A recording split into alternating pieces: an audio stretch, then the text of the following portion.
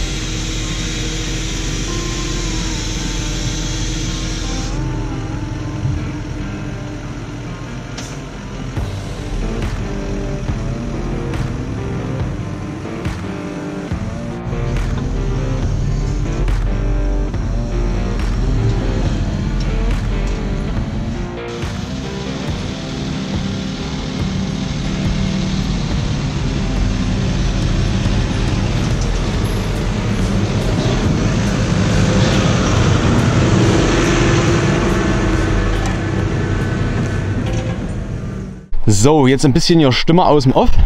Ähm, ich habe jetzt hier ein bisschen mal noch mal was an der Tiefe verstellt hier am Grober. Ich habe das jetzt ohne zu filmen gemacht, weil der Drecker auch so laut ist und da macht das keinen Sinn, wenn ich hier noch was dazu erzählen möchte.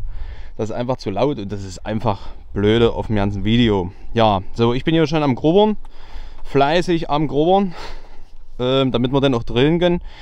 Das Wochenende, da soll jetzt nämlich noch ein Teil Roggen schon mal rein. Wir sind hier auf das sehr sandige Stück. Habt ihr jetzt schon im grober Video gesehen. So, ja, auf jeden Fall habe ich hier das nochmal runtergelassen. Das macht man dann mit dieser schönen Kurbel hier, ja. Dann machen wir hier den Splint raus, zack, und dann machen wir das hier dran. Das ist ein schöner Vierkant und wir können hier schön loslegen, ja. So, ja, an sich haben wir dann hier vorne nochmal so ein bisschen eine kleine Schleppe. Die können wir dann auch nochmal beliebig in der Höhe verstellen beim Sand nehme ich die immer ein bisschen noch weiter hoch, weil sonst schiebt die wirklich zu viel vor sich her. Und dann haben wir nachher das Problem, dass wir am Vorgewende einen riesen Haufen liegen haben und das ist nachher blöd.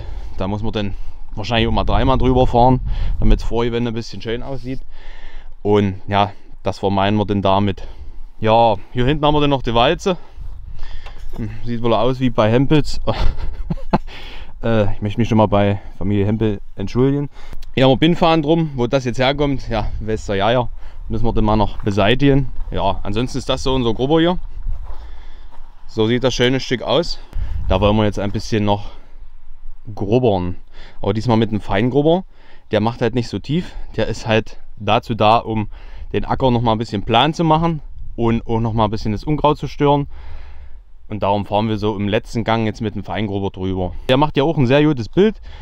Ein sehr gutes ja, Gruberbild eigentlich. Und so sind wir da sehr zufrieden. Ja. Achso, und Grüße ihn raus an Wurch Landtechnik, ja. Da haben wir dieses schöne Teil erworben. Der schöne Bettner Swifter. Ihr seht es nochmal. Ja. Und ich würde sagen, wir legen jetzt einfach mal los. So, ich fahre jetzt hier so, ja, gerade mit 10 km Eigentlich fahre ich dann mit 12 km wenn die Kamera habe ich gerade ein bisschen runtergeschraubt, ja. Hier die AB-Linien, ja, und wie man sieht, staubt wohl sehr. Wir hatten jetzt die letzten zwei Wochen wohl kaum Regen. Naja, mal sehen. Noch, noch hält sich ein bisschen die Feuchtigkeit, aber die Oberfläche ist halt wirklich trocken. So, und heute fahren wir mal in jede zweite Spur. Ja, Trecker ist auch wieder schön geputzt hier, ja. Hätten wir keinen Scheinwischer, würde man wahrscheinlich wieder nichts sehen. Ja, so sieht das aus hier.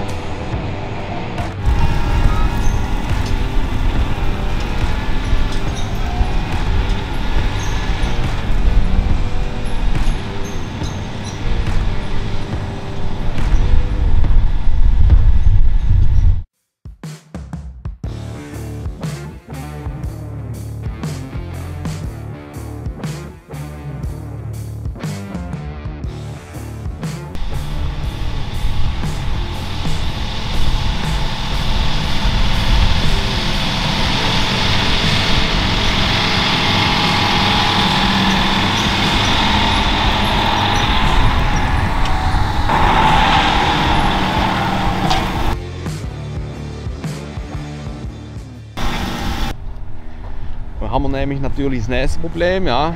Jetzt hat sich hier so ein schöner Stein drin vergandet. Ja, da steckt das Schwein. Den müssen wir jetzt hier mal rauskloppen, weil wie man sieht, kann das hier nicht weg. Das backt da alles voll. Ein bisschen Klumpen noch dazu. Ja, und dann sieht das halt so aus hier. Also Senfeimer erstmal weg. Ne? Dann gucken wir, wir ein Hämmerli haben. Erstmal lassen wir die Kiste auf, dann ziehe ich mir noch die Handschuhe an und dann gucken wir mal. Ist jetzt halt wohl praktisch war. Brauchen nicht gleich rein. Und wir können das gleich von hinten hier steuern.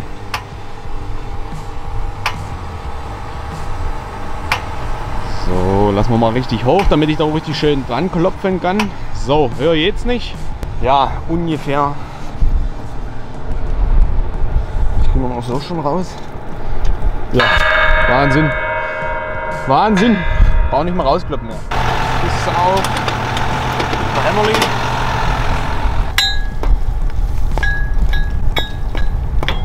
Weiter geht's.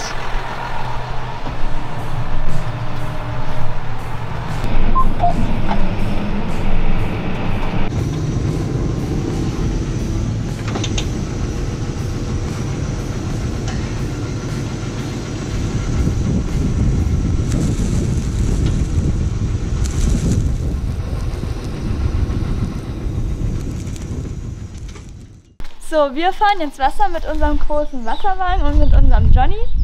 Und zwar bringen wir das Wasser jetzt zu unserer Kühe raus. Ja, unser Johnny steht jetzt hier so schön bereit. Die anderen Trecker stehen uns gerade nicht zur Verfügung und deswegen benutzen wir den. So, dann steigen wir jetzt mal ein. Oh, ist richtig warm hier.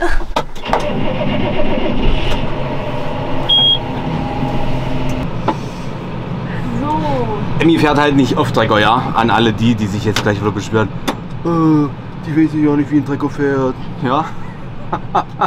also immer bitte den Ball flach halten. Dankeschön. du musst da bestimmt aussteigen, oder? Ach ja, scheiße. Du musst mich anhängen.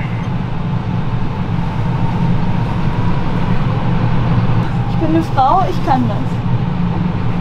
Ich freue mich jetzt schon auf die Kommentare. Da kommen bestimmt mal richtig coole Kommentare. Ah, nee. So, ich steige mal aus, ja. Ladies and Gentlemen. Ja, gerade. Jo, weiter. Gut. Komm mal ein ganz, ganz kleines Stück nach hinten.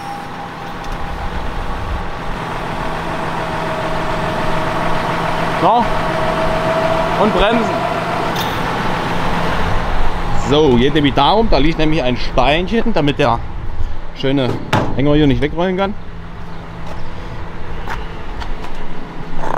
Klar, wir hätten noch einen Hemmschuh nehmen können, aber nein, wir hatten einen Stein. Also wird der Stein genommen und kein Hemmschuh, ja. So. Sie können das Window closen.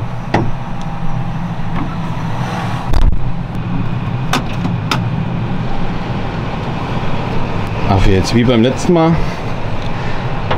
Auch wieder Wasser fahren. Nur Trecker ist ein bisschen anders. Ja, und der Wasserwagen ist auch verdoppelt worden.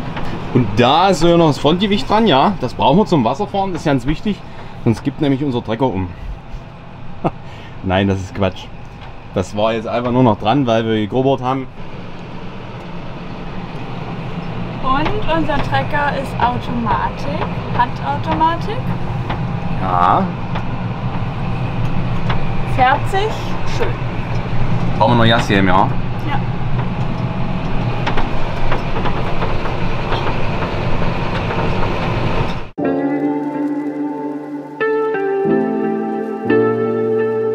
thank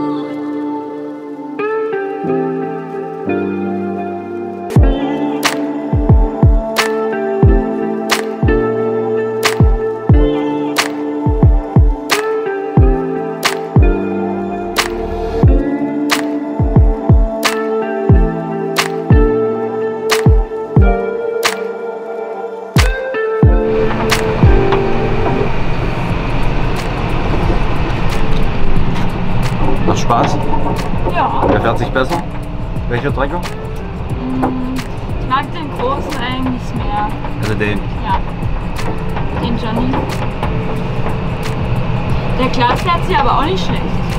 Unter 6630? Den mag ich nicht so. Wieso nicht? Weiß nicht.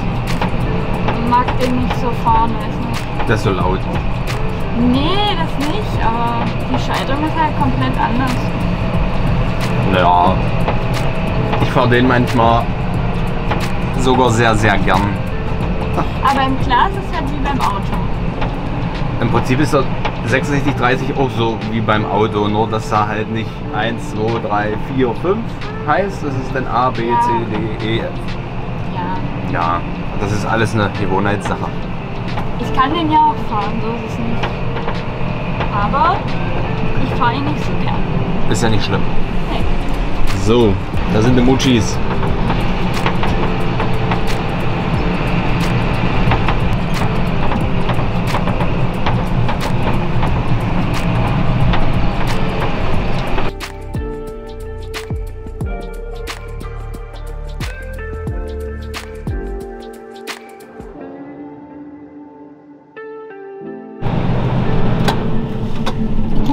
So, dann werden wir mal die Kühe was zu trinken geben.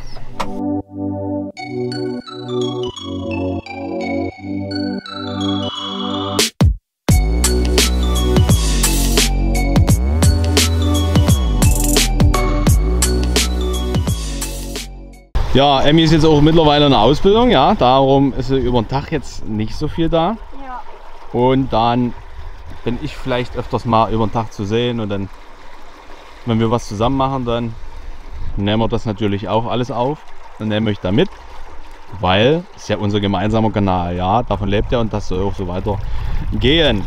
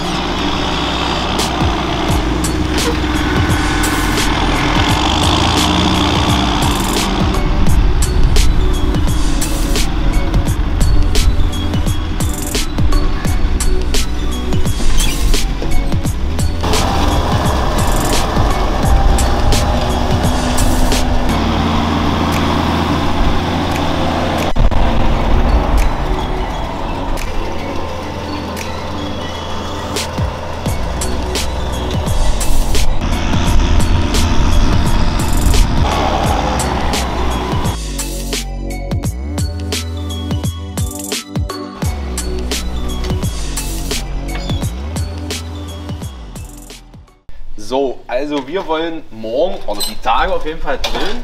Beziehungsweise mein Vater, der macht dann immer mit der Drillmaschine los. Ja. Wir haben die jetzt schon abgedreht und das könnt ihr jetzt einfach mal schnell angucken.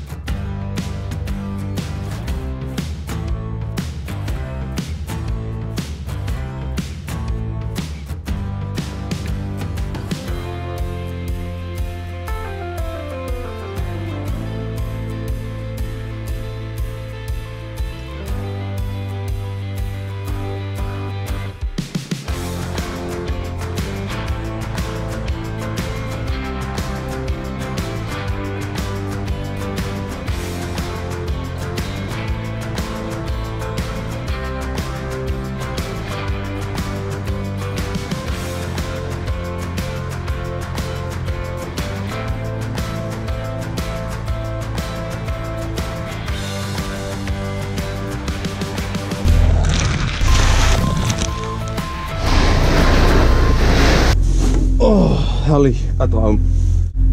Mein gut, das Dinkel nicht so juckt. Wie Jasse. Das wäre jetzt nicht so angenehm. Ha? Weiter geht's. Yeah!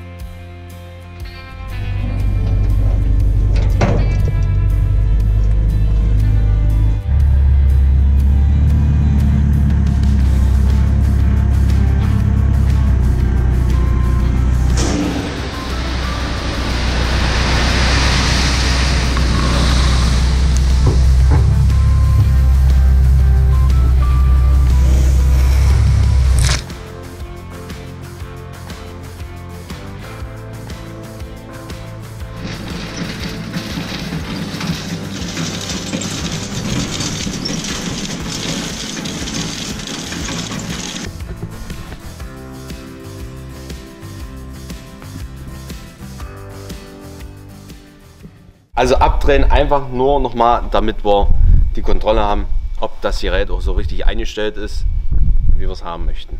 Ja, so, das ist jetzt die allgemeine oberflächliche Erklärung. Wir fahren nochmal schnell raus zu unserer Kühe und dann nehmen wir euch wieder mit, zeigen euch das nochmal ein bisschen und prüfen wir auch nochmal schnell den Strom, wenn wir einmal da sind. Ja, und dann sehen wir mal weiter. So, wir sind jetzt bei unseren Fersen angekommen. Da stehen sie auch schon. Bereit, in Lauerstellung. So.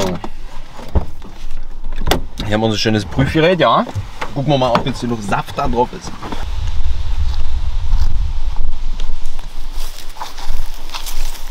Das ist schönes Wetter, ja. Ja, das stimmt. ja. Volles Ballett, ja. Ach, da sind drauf. Hier auch. Schön. Prima. Dürfte also kein Fehler in der Koppel sein. Dürfte. Wir müssten nur nach hinten noch mal fahren. Da ist noch Stromgerät und eine Pumpe. Da gucken wir, ob das alles noch okay ist. Wenn wir jetzt einmal hier sind, wurde zwar heute schon einmal kontrolliert, aber kann ja nicht schaden. Doppelt hält besser. Ne? Wir können hier mal einen Schritt reingehen. Könnt ihr sie nochmal von nahen begutachten. Hm. Und gleich kriege ich eh nicht Pflaster. Ja. Wer lässt mich drin? Keiner. Du bist geübt.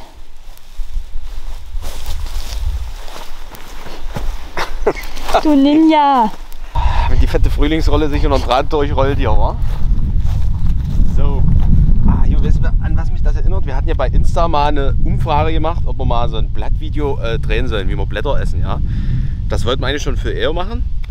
Aber das kann man erst im Laub, also wenn das Laub vom Baum fällt und wenn das schon angetrocknet ist, ja, also so im Herbst, dann kann man das erst machen. Machen zum Beispiel viele im asiatischen Raum, die frittieren die und dann geht das hier und dann. Ja. Schmeckt? Ehrlich gesagt hat früher nach Blatt jetzt geschmeckt, ja, nach Baum.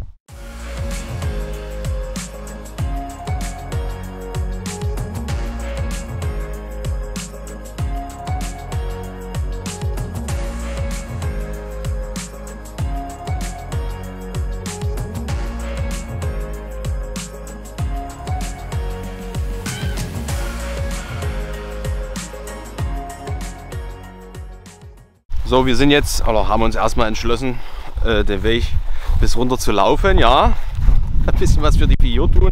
Und dann würde ich sagen, gucken wir mal noch schnell zum Raps, Genau. wie der so aussieht. So, das ist jetzt hier unser Raps, ja. Hatten wir ja in dem einen Vlog schon angekündigt. Das ist jetzt schon eine Weile her, wo wir den gedrillt hatten.